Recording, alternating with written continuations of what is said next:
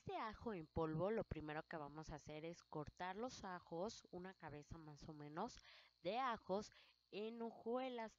Esto es para que se seque más rápido. Lo vamos a exponer aproximadamente por 8 días en el sol, metiéndolo y sacándolo al sol diariamente para que así vaya a secar. Este seco vas a escuchar que truena más o menos. Ya cuando empiece a hacer eso es ideal para empezar a hacer nuestro ajo en polvo. Lo vamos a hacer en el molcajete y a ver qué tal sale y vamos a checar. Suena muy bien. Ya que tenemos aquí nuestro ajo en polvo, vamos a preparar el molcajete para seguir moliendo hasta que se haga polvo este ajo. Queda súper bien, me sorprendí, realmente no pensé que quedara tan finamente, pero quedó excelente. Aquí tenemos nuestro molcajete, no sé por qué estaba manchado en vivo no se veía, pero en la cámara se ve, quién sabe por qué. Pero así es este molcajete. Vaciamos el, el ajo tostadito. Está al sol. Recuerden, una semana metiendo y sacando.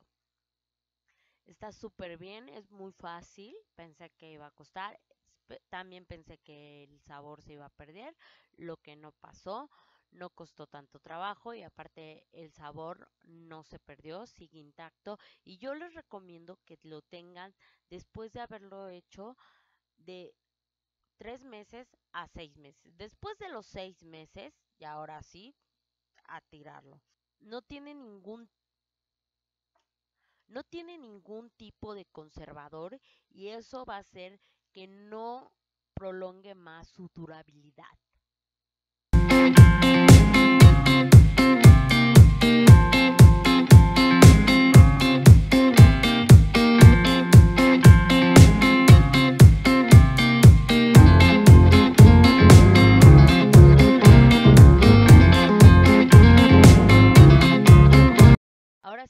Que está hecho polvito, lo siguiente que vamos a hacer es limpiar.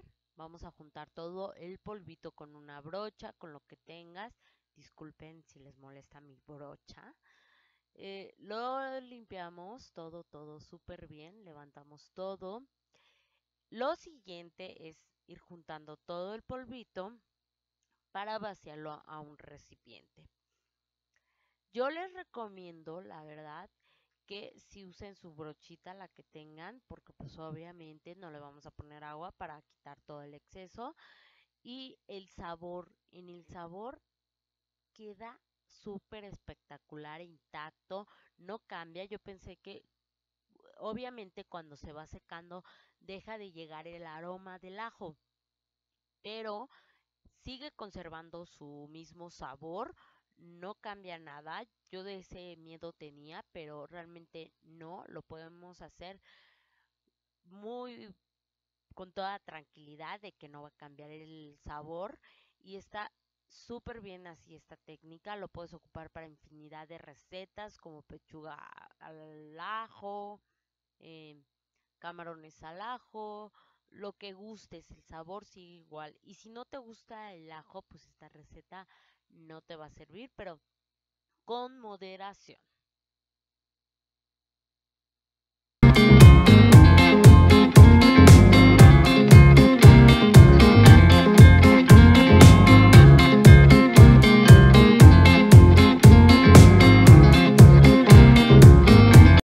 Y este resultado final del ajo en polvo queda súper bien. Me encantó, quedé muy satisfecha, se los recomiendo si tú quieres sal con ajo, pues nada más le agregas la sal o le mueles sal de mar de preferencia para que quede mezclado. Está súper excelente. El sabor no cambia, como les digo, y queda súper bien para lo que queramos ocupar, un condimento, lo que necesitemos. Y muy práctico. Y bueno, nenas, eso es todo por el video de hoy. Espero que les haya gustado. Si les gustó, nos vemos en un próximo video. ¡Adiós! Nenas. Ah, y a los chiquitines también, ¿por qué no?